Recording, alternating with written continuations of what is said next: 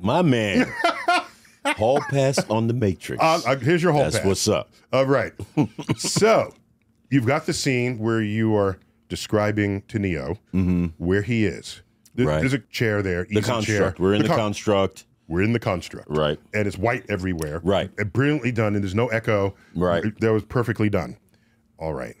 You describe to him that the machines are using humans As batteries. as batteries, As a power source, as a power source.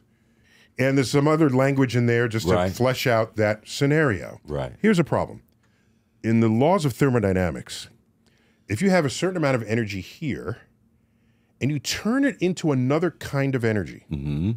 for example, there's chemical energy in gasoline. Right. You put that in your car, it turns it into kinetic energy to move your car.